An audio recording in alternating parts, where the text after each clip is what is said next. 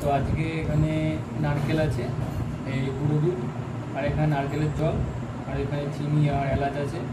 তো আজকে এই নারকেল দিয়ে আইসক্রিম বানানো, বানাবো। তো এখানে, তো এই নারকেলের পিছনের যেটা আছে, এইটা সবার আগে আমি ছুরি দিয়ে ভালো করে কেটে নিয়েছি। কেটে এমন করে নিয়েছি, কারণ হচ্ছে যেহেতু আমি এটাকে যেহেতু খুশি নিতে পারব না, সেই কারণে। তো একটা আমি রেখেছিলাম আপনার দেখানোর জন্য। তো সবার আগে এটা মিক্সিতে দিয়ে দেবো আগে মিক্সিতে দিয়ে আগে এটা ভালো করে মিক্স করে নিতে হবে।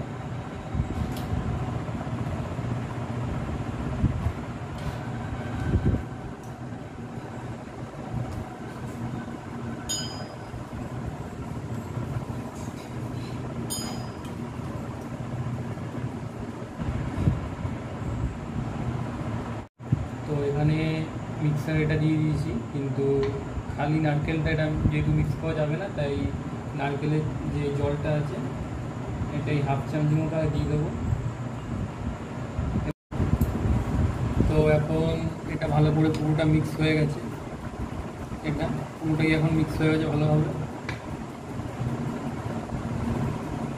ভালোভাবে মিক্স হয়ে গেছে। এখন এখানে যে চিনিটা যে আছে, তো চিনিটা এখানে দিয়ে দেবো, দিয়ে একটুখানি ভালো করে মিক্স করে নেব।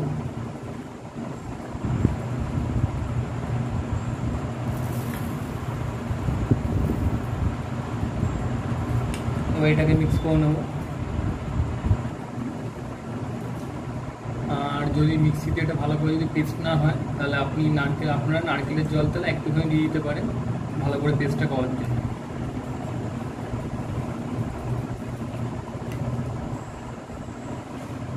আমি একটু দিয়ে দিলাম। তো এখানে এটা এখন ভালোভাবে মিক্স করা হয়ে গেছে।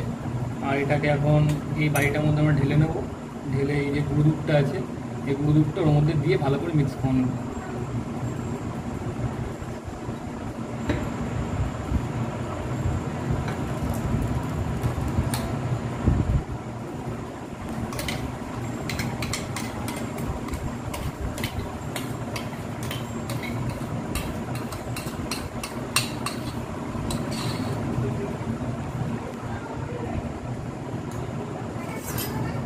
এবার এখানে দুধ ছোটো বাটির এক বাটি, তো এটাকে এখন আগে দিয়ে দেবো এখানে।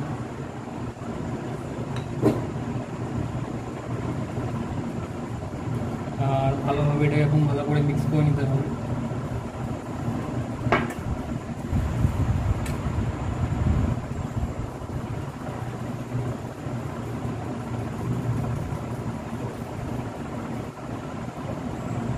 বন্ধ করে ভিডিও করতে আছে তো আমার এখন এটা ভালো করে মিক্স করা হয়ে গেছে। দেখতেই পাচ্ছেন, ভালোভাবে মিক্স হয়ে গেছে এটা এখন। আর এটা মানে একটুখানি মোটামুটি ঠিকঠাক করার জন্য এখানে নারকেল জলটা যে বাকিটা যে পড়ে আছে, এটা আমরা এখানে দিয়ে দেবো।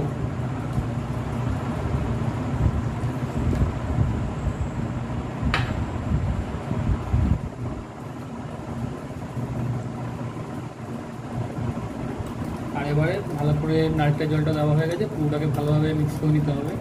তো আগে মিক্স করে নেওয়া যাক। তো আশা করি ভিডিওটা আপনাদের অবশ্যই ভালো লাগবে। আর ভিডিওটা ভালো লাগলে অবশ্যই লাইক শেয়ার কমেন্ট সাবস্ক্রাইব করবেন। পাশে থাকা বেল আইকনটা অবশ্যই ক্লিক করবেন নতুন ভিডিও আপডেটগুলো সবার আগে আপনাদের ফোনে পাওয়ার জন্য। তো চলুন সবার আগে এটা ভালোভাবে মিক্স হয়ে যায় আর হয়ে নি।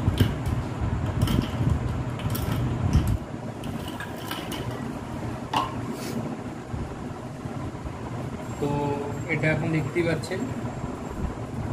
তো দেখুন এটা। এখন এটা মোটামুটি ঠিকঠাক হয়ে গেছে। তো এটা এখন এই যে আইসক্রিমের যে পটগুলো আছে, ট্রেগুলো, এই ট্রের মধ্যে দিয়ে দেবো আগে।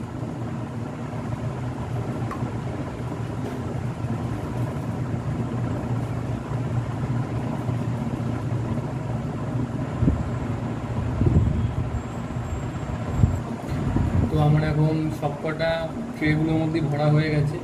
আর এখন উপরে ক্যাপগুলো দিয়ে মুখগুলোকে এখন আটকে দেবো আগে।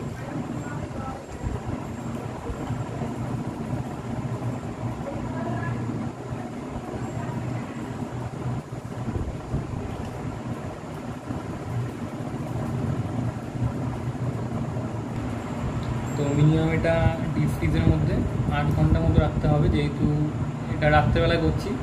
তো কাল সকালবেলায় বাকি ভিডিওটা আপনাদের শেয়ার করতে পারব। তো কাল সকালবেলায় বাকি ভিডিওটা আবারও শেয়ার করব। তো অবশ্যই আশা করি ভিডিওটা আপনার ভালো লেগেছে। আর অবশ্যই ভিডিওটা পুরোটা স্কিপ না করে দেখবেন। ভিডিওটা ভালো লাগলে অবশ্যই লাইক শেয়ার করুন সাবস্ক্রাইব করবেন। পরে আওয়াজ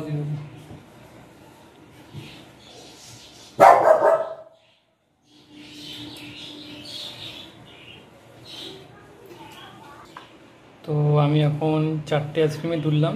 তো দেখুন আর এখানে বাকিগুলো রয়েছে।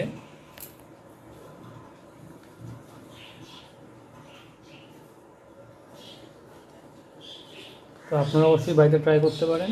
আর ভিডিওটা ভালো লাগলে অবশ্যই লাইক শেয়ার এবং সাবস্ক্রাইব করবেন। আর পাশে থাকা আইকন বেল বাটনটিও অবশ্যই ক্লিক করুন। ভিডিও আপলোড সবার আগে আপনাদের ফোনে পাওয়ার জন্য।